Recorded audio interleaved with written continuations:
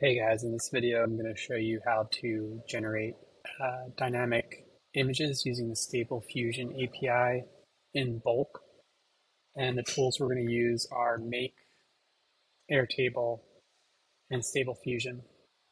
So before you get started, just to show you a little bit about what the prompting looks like, uh, it'll take some time to experiment with the prompt that you want to be able to use to get an image output that you find acceptable. But once you do, you'll basically take your text to image prompt and use that as an input configuration in Make. So to do this, we're going to load images for almost 200 items. These are all going to be web pages on our website. And we're really going to be using target keywords to create images. The idea is eventually we'll be able to create 200 dynamic web pages for each of these locations. So really what we're going to do is use this city name to generate an illustration to be used for the hero image content. So what it's going to do is going to search records individually that don't yet have an image in Airtable. It's going to make a request to the Stable Diffusion API. And the most important part here is the prompt. So this prompt will be dynamically created based on the city name coming from the Airtable record and then all of our other settings below. Now the router is put in place because sometimes the stable diffusion API will return the image while the execution is still running.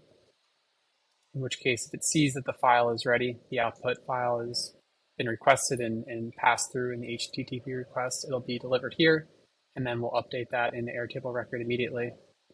If not, what we're going to do is we're going to put a sleep delay in, and we're going to set that ETA based on the ETA, the completion time that the Stable Diffusion API request has returned to us, and we're going to add a 30 second buffer.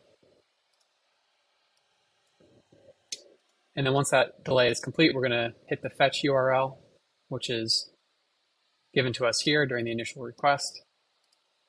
And then once that image is requested, we're going to take the output, which is really going to give us the URL of the image again, we're going to insert that back into Airtable.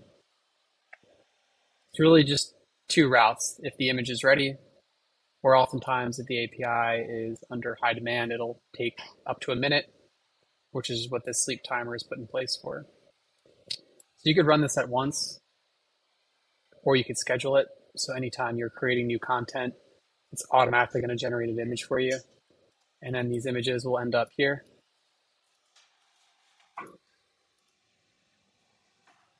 You can either render them as URLs or actually create attachments for them, which I'll show in a separate video.